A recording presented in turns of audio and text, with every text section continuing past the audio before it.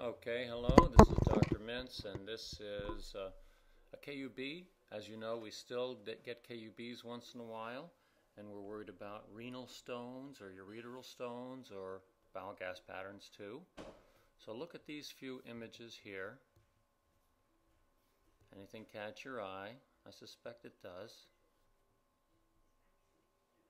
Going back here, you see this curvilinear calcification extending to the right, curvilinear calcification extending to the left. So looking at those two, you're thinking hopefully of an abdominal aortic aneurysm. Here you can see the iliac arteries coming into this big aneurysm. You see the thin crescentic little peripheral curvilinear calcifications.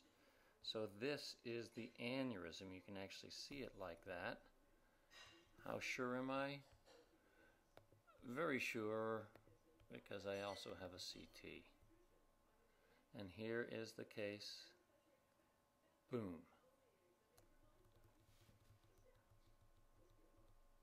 And a lot of these cases also have calcification of the uh, thrombus. And you can see that it does not extend into the iliac arteries just as you would have expected based on the plain films. So remember to look for those calcifications even if that's not the question at hand for KUBs. And yes, this patient has a few little calcifications related to the kidneys. Now be very careful because a lot of times if you have an, an aneurysm of the aorta, you also have vascular calcifications elsewhere. And little calcifications like this, that's a vascular calcification. And here you can see one outside the kidney. So Bear in mind, if you see little calcifications related to the kidney, like that's a tiny one, that is vascular. So that probably is too.